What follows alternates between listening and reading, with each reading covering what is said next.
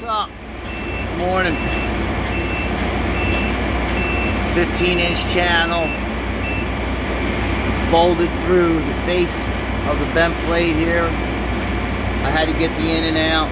Quarter power come along. As you see, I got the rebar. Just uh, lock everything in.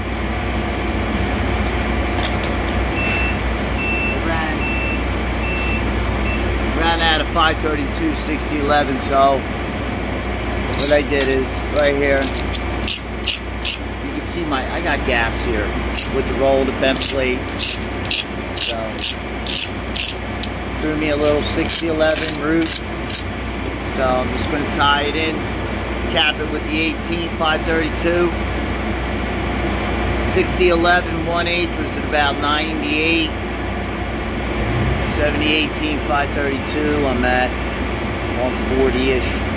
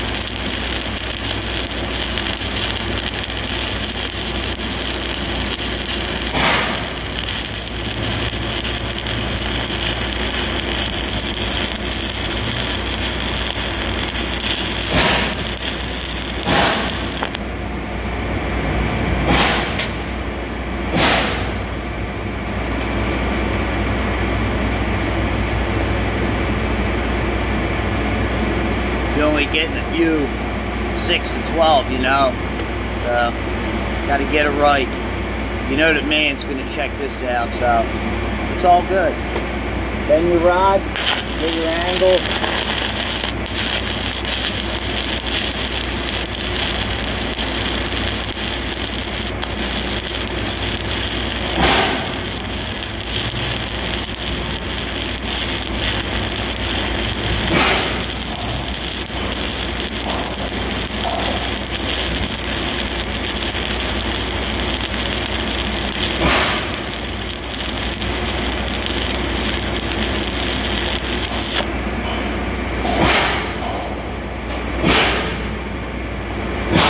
it.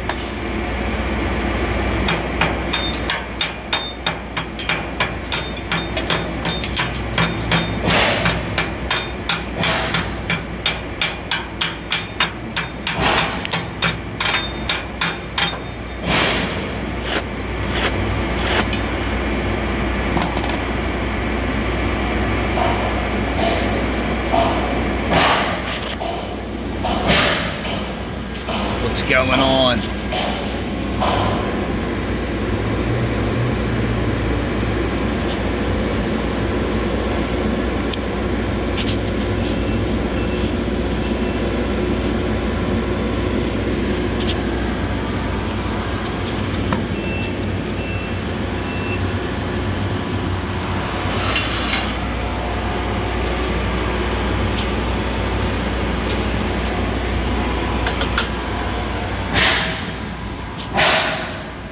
Got on the tops, flat and overhead all the way.